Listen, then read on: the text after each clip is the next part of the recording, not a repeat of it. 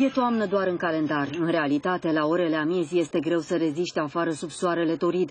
În sudul țării, maximele au ajuns și la 33 de grade. Vreme neobișnuit de cald a fost și în vest. E foarte cald. Se putea și mai cald, pot zice.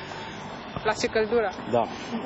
Să, să rămână strandurile deschise. Totuși mai cald.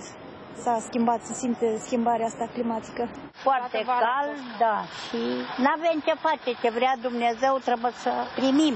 Și în weekend va fi mult mai cald decât ar trebui pentru această perioadă în majoritatea regiunilor. După amiaza de sâmbătă va fi chiar caniculară în jumătatea de sud a Munteniei și izolat în zona de câmpie a Olteniei și Banatului. Așteptăm așadar temperaturi maxime în general între 26 și 35 de grade și duminică vremea se menține mult mai cald decât în mod obișnuit în majoritatea regiunilor, pe are extinsie chiar călduroasă. La scara întregii țări așteptăm maxime termice cuprinse în general între 24 și 34 de grade și minimele vor fi mai ridicate și se vor înregistra în general între 11 și 22 de grade. Pe litoral, temperaturile vor fi numai bune de plajă pentru cine mai tânjește după vară. Meteorologii nu exclud posibilitatea ca prima lună de toamnă de anul acesta să fie în top 3 cele mai călduroase luni septembrie.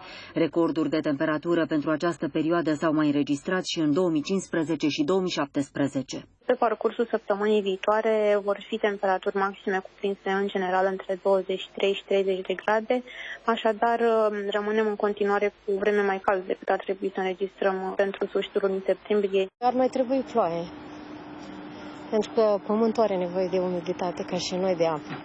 Ploile rămân în peisaj doar pe la munte, însă duminică noaptea în vest și nord-vest norii vor aduce precipitații cu descărcări electrice, în timp ce în centru și nord-vest, în unele zone, săptămâna se încheie cu grindină și cantități de apă mai însemnate. Meteorologii spun că cel puțin până la mijlocul lunii octombrie ne vom putea bucura de o vreme mai caldă decât în mod obișnuit.